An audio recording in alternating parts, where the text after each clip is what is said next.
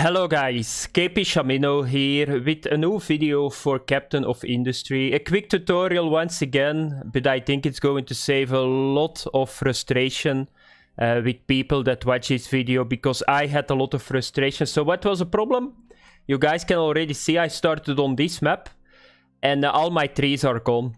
And everywhere you will see there is a mountain. So I need to get to higher grounds to uh, yeah, cut the trees. And the trees are very important because all your construction materials to build stuff, you need to have wood. So I started to think maybe I need to dig it with my uh, excavator, but that didn't work. And then I started to think once again, because you need to think a lot in this game and save and load a lot in this game.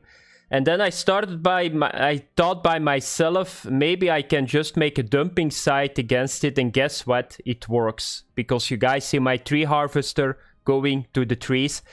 And it's unbelievable, but I'm so happy now because it was a struggle. It was unbelievable, uh, but I like it. Therefore, I play this game a lot.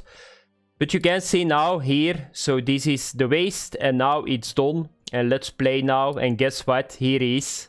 I was never ha so happy in a game, to be honest. So he's now on his way and I can start finally do construction work again. And that's how you need to do it.